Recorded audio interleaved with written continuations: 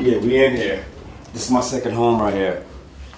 Last 20 to 25 years. This is where I did all my music, all the shit that was hot. That's where I recorded it. Night Sky Studios, baby.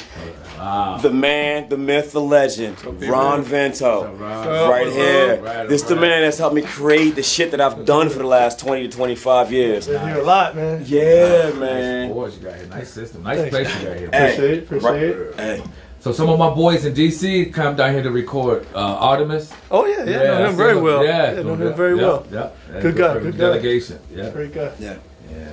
So we we here now. We couldn't not include. This has been a part of my life for the last 20, 25 years. And honestly, the best mixes, product I put out has been here. So I had to come through and, and, and show some love to my man Ron. He's like family to me. So Appreciate we here.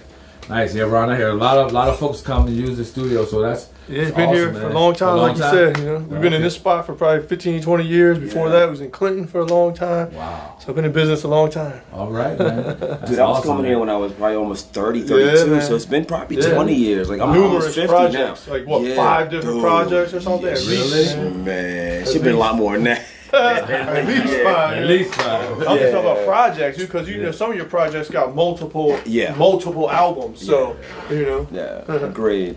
So this is nice guy, man, and I, I, I definitely, if anybody is in the area, Charles County, Maryland, shit, if you're on the East Coast and you need a project done, come see this man right here. Appreciate it. He'll take care of you for real, for real. Sir. Your shit will be done right. Believe that. Nice.